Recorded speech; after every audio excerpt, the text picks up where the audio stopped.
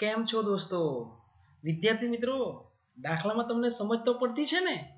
અને જો દાખલામાં તમને સમજ પડતી હોય અથવા કોઈ કન્ફ્યુઝન હોય તો વિદ્યાર્થી મિત્રો તમને નમ્ર વિનંતી છે કે તમે મારા વિડીયોને કોમેન્ટમાં લખો કે જેથી મને ખબર પડે કે મારે ક્યાં સુધારો કરવાની જરૂર છે. અને જો તમને વિદ્યાર્થી મિત્રો મારા વીડિયો ગમ્યો હોય તો પણ તમે કોમેન્ટ કરવાનું ભૂલતા નહીં અને લાઈક કરવાનું પણ ભૂલતા નહીં. અને જો તમે મારી કદાચ ચેનલને સબસ્ક્રાઇબ ન કરી હોય તો સબસ્ક્રાઇબ કરવાનું ભૂલતા નહીં. તેમજ વધારેમાં વધારે વિદ્યાર્થીઓને શેર કરો કે જેથી મારો વિડીયોનો ઘણા બધા વિદ્યાર્થીઓ લાભ લઈ કે જેથી પરીક્ષામાં એમને ઉપયોગી સાબિત થઈ તો વિદ્યાર્થી મિત્રો, તમારી સમક્ષ ફરીથી ઉપસ્થિત થયો છું Educare with doctor Satish Patel ચેનલમાં હું ફરીથી આપનું વિદ્યાર્થી મિત્રો હાર્દિક સ્વાગત કરું છું. અને તમને જણાવી દઉં કે આ વિડીયોમાં હું તમને એક્સ અને વાયની કિંમતો અપૂર્ણાંકમાં આપી હોય. ત્યારે નિયત સંબંધ રેખાનું અન્વયન કઈ રીતે કરી શકાય તેની હું સમજૂતી આપવાનો છે. એક્સ અને વાય બંનેની કિંમત અપૂર્ણાંક આપી હોય અથવા બેમાંથી કોઈ પણ એકની કિંમત અપૂર્ણાંક આપી હોય, તો ત્યારે આપણે cx અને cy ની રીતે દાખલો કઈ રીતે ગણવાનો? તેની હું તમને સમજૂતી આપવાનો છે. કારણ કે એક્સ અને વાયની કિંમત જો અપૂર્ણાંકમાં હોય, બરાબર છે? તો ત્યારે આપણે ગણતરી કરવામાં તકલીફ પડે છે.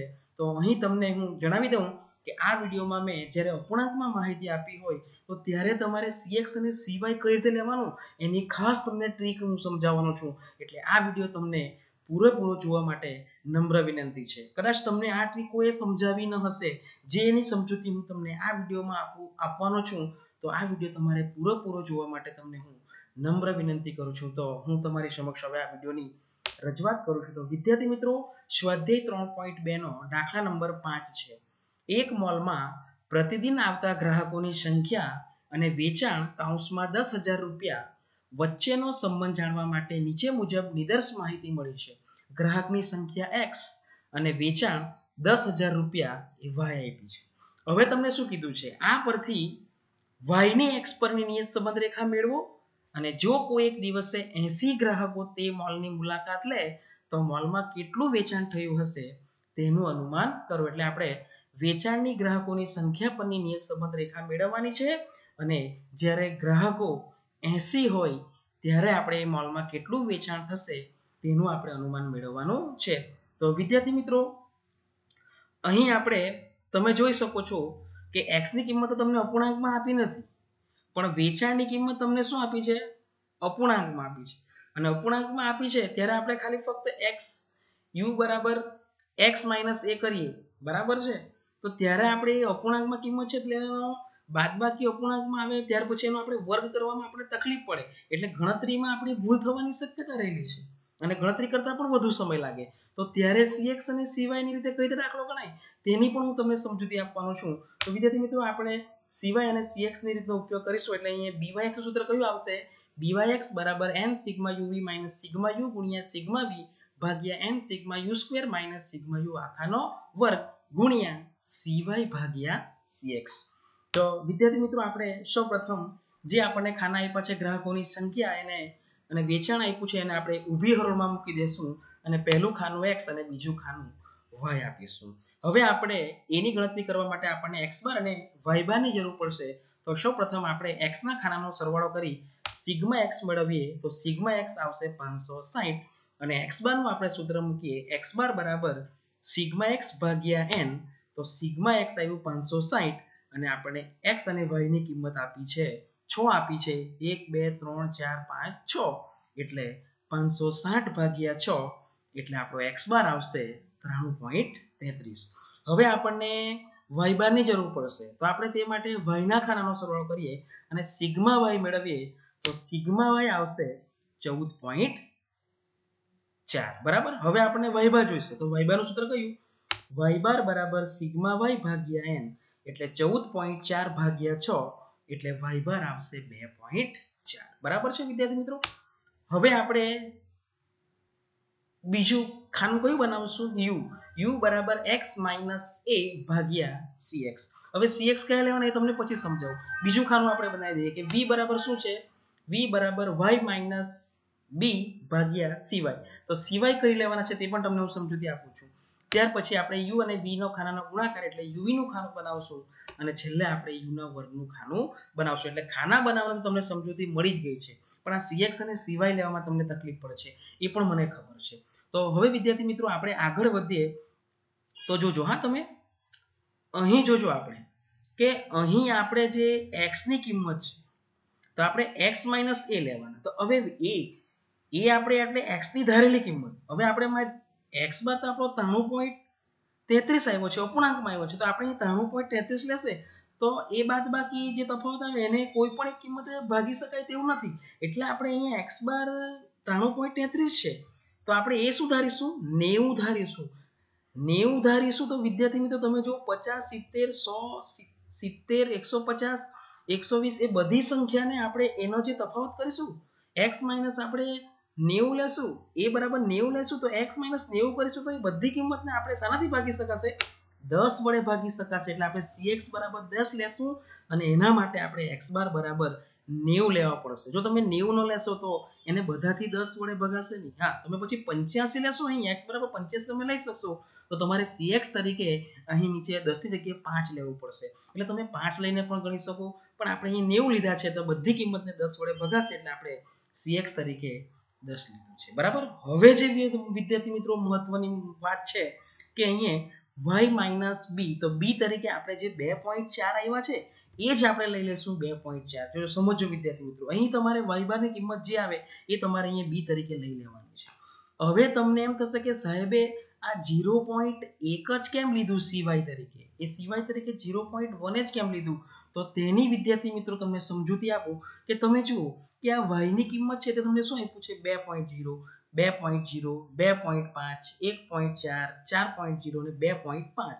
એટલે પોઈન્ટ પછી એક જ સંખ્યા છે. તો હવે તમને સમજાવું છું વિદ્યાર્થી મિત્રો પોઈન્ટ પછી એક જ સંખ્યા છે એટલે એક ભાગ્યા દસ કરવાનું. કેમ કે પોઈન્ટ પછી એક જ સંખ્યા છે ને?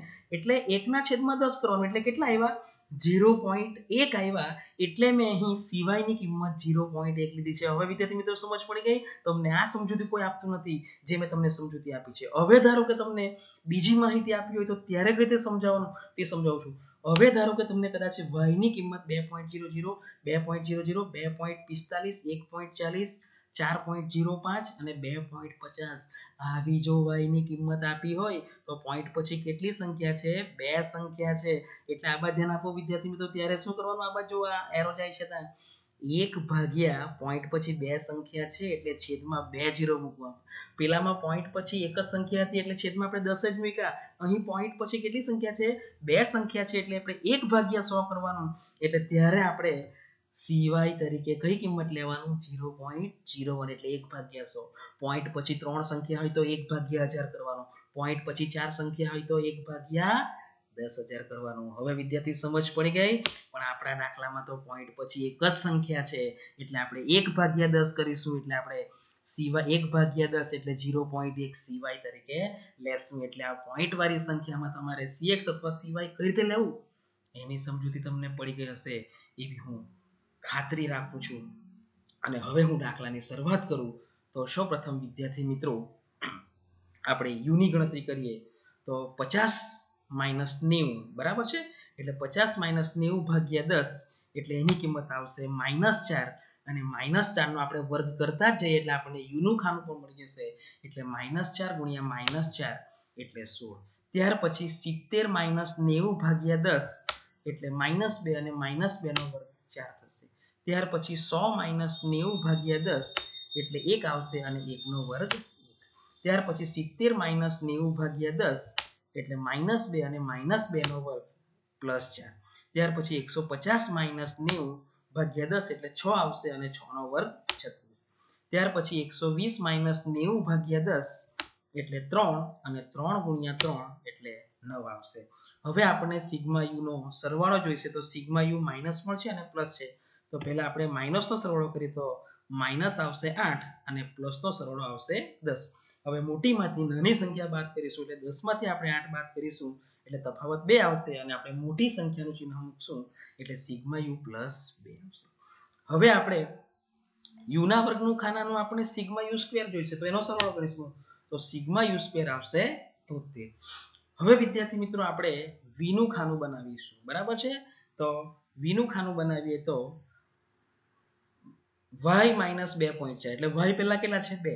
એટલે બે પોઈન્ટ જીરો માઇનસ બે પોઈન્ટ ચાર ભાગ્યા જીરો પોઈન્ટ એક કરીશું તો એની કિંમત આવશે માઇનસ ચાર. ત્યાર પછી બે પોઈન્ટ જીરો માઇનસ બે પોઈન્ટ ચાર ભાગ્યા જીરો પોઈન્ટ એક એટલે એની પણ કિંમત આવશે માઇનસ ચાર. ત્યાર પછી બે પોઈન્ટ પાંચ માઇનસ બે પોઈન્ટ ચાર ભાગ્યા એક જીરો પોઈન્ટ એક એટલે એની કિંમત આવશે એક. ત્યાર પછી એક પોઈન્ટ ચાર માઇનસ બે પોઈન્ટ ચાર ભાગ્યા જીરો પોઈન્ટ એક એટલે એની કિંમત આવશે માઇનસ દસ.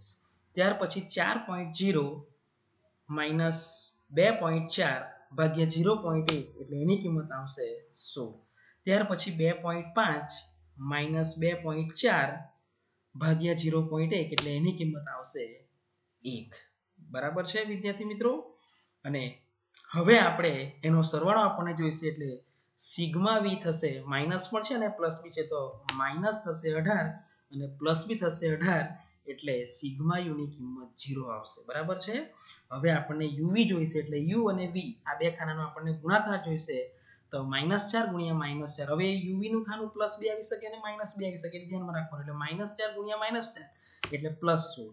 માઇનસ બે ગુણ્યા માઇનસ ચાર. એટલે પ્લસ આઠ. એક ગુણ્યા એક એટલે એક. પછી માઇનસ બે ગુણ્યા માઇનસ દસ એટલે પ્લસ વીસ. છ ગુણ્યા સો એટલે છન્નું.